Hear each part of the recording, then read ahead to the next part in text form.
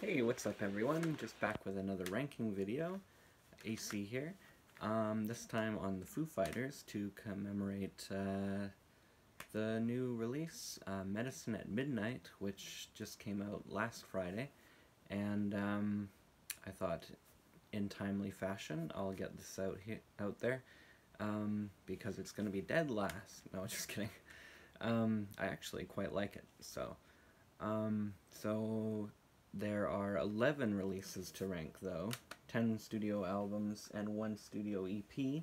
So we're not doing the um, the the live stuff or the greatest hit stuff. So to kick it all off, number 11, the Saint Cecilia EP, which of course boasts the title song, which was kind of the hit off this one. And um, when this came out, I think it was a vinyl only deal. I don't even think it was on like streaming or anything. Not that that was quite as big of a deal 10 years ago. Um, I just find that uh, that release, I could have put it above the, the next one, the number 10, but uh, there's nothing really that bad about it, but there's nothing really that special. It's just kind of a generic um, Foo Fighters album or EP and uh, nothing really ever jumped out at me on it, but it's definitely nice to have anyway. Um, number 10, this probably could have been the last place, to be honest. In Your Honor, I remember the lead up to this one uh, just being very, uh, you know, hyped for a, a, double album of the Foo Fighters. You know, what could go wrong? But I think during this era, they spread themselves a little too thin. And uh, one, if you don't know, one side is a rock side, all the loud bangers, and then the second side is kind of more tender acoustic stuff, more in the vein of um, you know Marigold by Nirvana, which of course Dave Grohl worked with Nirvana, or he was a band member of Nirvana. Um, kind of uh, yeah, more tender songwriting, more acoustic stuff. But I think that the dynamic was lost. They could have worked these songs kind of into each other and made them a little more dynamic Resolve is, is kind of dynamic, but really the only takeaway from this is, is the big hit single Best of You, which I didn't like initially. It was all over the radio when this came out. They played it once an hour. It was just overkill. And then by the time that Prince played the Super Bowl and covered this song, Best of You, um, I thought, wow, okay, that is actually good. So it took Prince to make me realize what a good Foo Fighters song Best of You is. And these guys were just blown away that Prince covered them. And, you know, arguably that was the best Super Bowl performance ever. Um, how timely. There just was a Super Bowl, but it was a, a really lame Super Bowl for everyone involved. And uh, I know a lot of people that lost a lot of money on that. So, In Your Honor, um, the title song In Your Honor, Best of You, Resolve, those are kind of my, my favorites to take away. Um, still is nice too. But uh, and there's a couple interesting guests on the second side, but whenever I think of Foo Fighters, I never go to put that one on, like never. Um, okay, so we're at number nine, Echoes, Silence, Patience, and Grace, which is somewhat of a, a, a comeback, I guess. I mean, the sales never went down, but quality-wise, I think it is way better than In Your Honor because it kind of does um, bring back the dynamics. You have just as many rockers as kind of more quiet songs. Um, the big hit, of course, is The Pretender, which is very theatrical sounding. and then Let It Die, which is very mellow and then builds and builds and then why'd you have to go and let it die? Um, Home is nice. Um, Long Road to Ruin is one that I don't really care for that much, and that was a big hit single. Just like the last one, whenever I, I think of Foo Fighters or want to throw a record on, I very seldom would reach for this. Um, it's been a long time since I've listened all the way through. It's definitely not a bad album, though. And I know a lot of people that really like this one. But, you know, for me, all the classic records and then the ones that, that came after I actually like more. Now, this is going to be kind of sacrilege for a lot of people. But this I'm ranking number eight. And a lot of people go, why? This was their their true comeback, and this is their their best record that is in the first three classic records. Um, I, I love the idea behind it. I love that they kind of went back to the shack or back to the garage with uh, Butch Vig and released this one. And it is, you know, a tried and true rock record, definitely. Um, I find that the first two tracks, though, are the best ones, and then the album never really finds its footing after that ever again. Um, the first two tracks are just classic Foo Fighters. The rest is all good, though. Um, I just, you know, I'm not one of those people that go, you know, this is the best post There Is Nothing Left to Lose Foo Fighters record. Some people, this is even their favorite Foo Fighters record, and that's cool by me, but uh, yeah, I definitely remember the excitement when this came out. I remember buying it day of release, and it was the first time since One by One that I was really excited for the Foo Fighters again, so it'll always have that going for it. Um, number seven, and a lot of people are going, You're crazy to put this in front of Wasting Light, but Concrete and Gold, which, you know, the Foo Fighters are never known as an experimental band, but I think this is their most experimental record, and that's probably the reason why it's going to be uh, not certified ever. um, so they were ballsy enough to release Run as the first single, which is by far the loudest on this record. It's kind of like another White Limo. Um, and um, yeah, I don't know. There's very something very Zeppelin-esque, esque Zeppelin-esque about this. I think I invented a word. Um, it's kind of like a, a single LP physical graffiti in a way in sound. You know, it's got some really kind of hard rockers, make it right and la dee da, but nothing nothing on the album sounds obvious or too calculated. It sounds very scattershot, but in a good way. There's n- there's not really a track I, I don't like at all. Um, the line is definitely the weakest, and I think it's really weird that that was the third single, and it just did nothing. Um, I could have called that one for them. Um, yeah, it's it's a really cool record. It's very dense. You know, it's not. It wasn't going to be one to have the big hits off it. I think thankfully the Sky is a Neighborhood did quite well, which was the second single.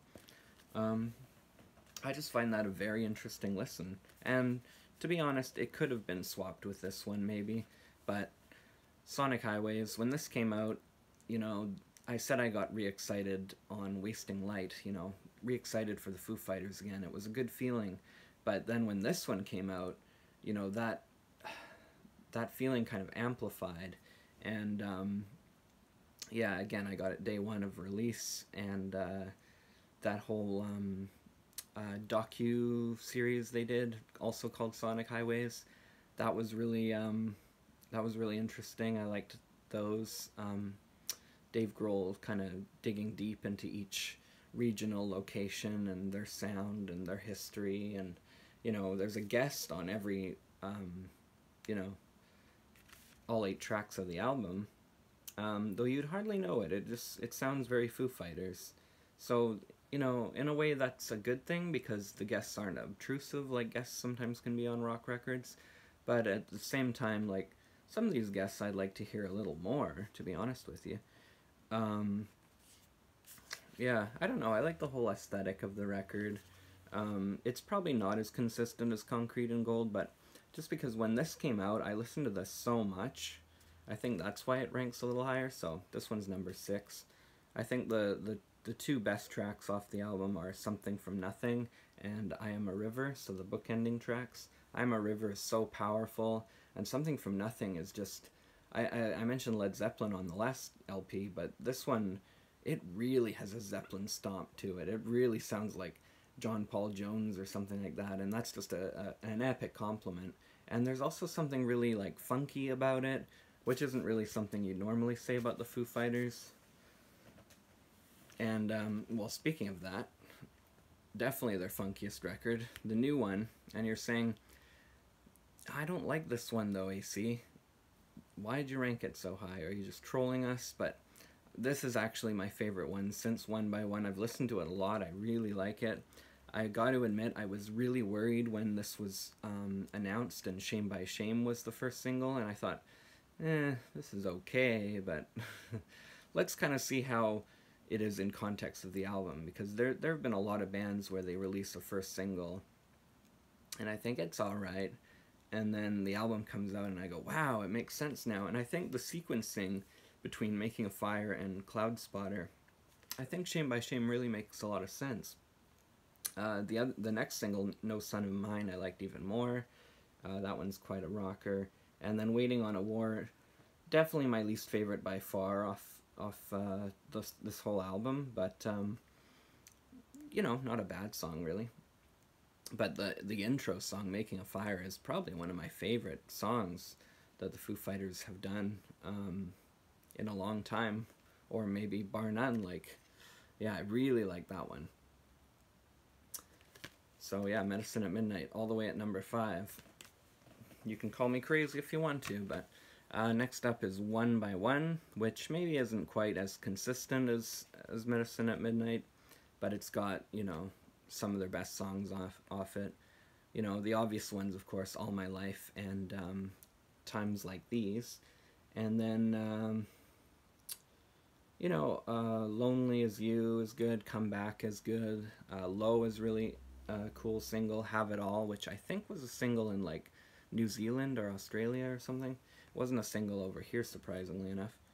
Um, Disenchanted Lullaby, Lullaby is good. Um, yeah, it's it's got a couple like Halo and Burn Away don't do anything for me, but it's a solid album. You can kind of tell there was a lot of contention during this album. Like they almost broke up during the making of this, so it, it's good that they soldiered on. And um, you know they they gave two of the best songs out of their legacy and this one, "All My Life" and "Times Like These." still don't get sick of those. They were so overplayed that the year that that album came out, and they're still they hold up. You know, you just got to take a six month break from good music that's overplayed, and it'll get good again. Um, number three, Foo Fighters, Eponymous. This came out all the way back in 1995. Dave Grohl made the uh, the very brave and bold decision to go out on his own and you know write and record his own stuff. And this could have been just called Dave Grohl because he plays and sings everything on it. But he assembled a band out of it, which is, you know, worked even better. But, you know, he, he was offered when Kurt Cobain passed away, Tom Petty offered him the gig of being his drummer. And, you know, think of how different his career would be if he was like to Tom Petty what Max Weinberg was to, to the boss for so long. Um, but yeah, instead he put out this really grungy record and um, you know, this has a lot of great ones off it. This is a Call is, of course, great. I'll Stick Around is one of my favorite Foo Fighters songs ever. Alone and Easy Target, I really like that one. Um, X-Static is cool. Exhausted. Um, you know, there, there's there's kind of funny little songs like he doesn't sound too serious on For All the Cows or Weenie Beanie or Big Me, but um, because even the quiet moments aren't very uh, you know, they're not very, very serious. I think maybe that was a defense mechanism because of dealing with Kurt's death, and that really affected Dave a lot. Like, Dave's quite a nice guy. Um, yeah, so I think that one will always be number three. Um, this one's a little dusty, but it is my number two. Is uh, There's Nothing Left to Lose. And this is how I discovered the the Foo Fighters and they gave away a little tattoo in the CD when this came out, and I remember I put it on my, was it my leg or my arm? I think it was my arm, and I was on vacation in Hawaii with my family, and I tricked this girl in the, in the pool and said it was a real tattoo.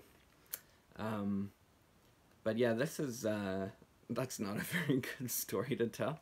This is uh, how I discovered them, really. Like, I'd heard my Hero on the radio in 98, but I didn't know who the band was. I just thought I liked this song. And then when this came out, Learn to Fly came out, and I was like, ooh, the Foo Fighters. Like, I like this band. And I got the record, or I got the CD, and Stacked Actors came on, and it was just like, love at first listen. And I think that'll always be one of my top five favorite Foo Fighters songs, Stacked Actors. And it's also my favorite of their intro songs, like Bridge Burning and um, Something from Nothing, definitely Making a Fire, All My Life. Those are all great intro songs, but this one's got to be my favorite intro song. Uh, Learn to Fly is one of the best hit singles ever. Generator, Aurora is absolutely beautiful for anyone that thinks that the Foo Fighters are like one dimensional. you know, they do have a lot of critics because they're a popular rock band and people go, oh, they're too corporate or they're too safe. No, listen to Aurora. That's an amazing song. So well written, very well sung actually by Dave. Um, he actually does a lot of singing on this record, which uh, you go, well, yeah, he's the singer, but no, he does a lot of smooth singing. This is like his best singing record, I think. Um, and I always like how that one folded out. And yeah, they were doing it just as a trio for for that record, and then they added a fourth while touring, so he was like in the videos uh, from I think the second single on. He was definitely in the music video for the one, which was a single that came out kind of in this album's lifespan, but wasn't on the album. And the number one, as to surprising nobody, is um, the color and the shape. A record I don't think they'll ever top. And uh, yeah, this is just prime Foo Fighters. You know, I'd rather put this on than a greatest hits from the Foo Fighters because I just think it has some of their best songs in the singles and the album tracks. Um, you know, I love Monkey Wrench, just pure energy. I remember that was out on one of the Guitar Heroes, the rock bands, and doing the rapid fire one last thing before I quit is one of the most like fun parts to sing in any song on on that whole playlist of that video game. Hey Johnny Park is amazing. I remember when I got this also in Hawaii when I had There's Nothing Left to Lose. Uh, it was my birthday on that vacation, 13th birthday, and I got this, and my uncle was going down the track listening because he goes, Who are these Foo Fighters anyway? Doll, Monkey Wrench. They have a song called Hey Johnny Park. He kind of said it in the like, Are you kidding me? what kind of band is my nephew listening to? Um, and I think that's one of their best songs, and it's so dynamic. My Poor Brain and Wind Up are just, oh, just crazy energy, like almost punky songs you know, My Hero, one of the best. Enough Space, one of the loudest songs they ever recorded. Maybe the loudest. I like that one a lot. And Everlong, you know, what a what a crowning achievement. What a great song as a rocker and it's also kind of tender and I think that was one of David Letterman. It was his favorite song ever actually.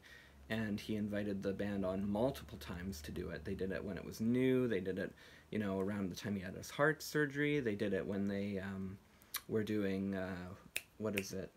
Wasting Light back to back. I think it was like one of the encores. They played that album back to back. Then they played some greatest hits sort of stuff. And then I think they did it on one of his very last shows.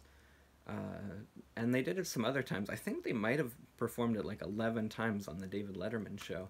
And, you know, it's hard to pick just one song as the best Foo Fighters song. I could pick Stacked Actors or Learn to Fly or My Hero, but, you know, Everlong would be a very solid choice for best song. So that's it, actually. That's um, top 11, the Foo Fighters full lengths plus the EP. So, anyway, uh, tell me what some of your favorites are, and uh, yeah, we'll just talk Foo, and we'll fight those Foo. So, uh, yeah, anyway, catch you in the next video, everyone. Peace out.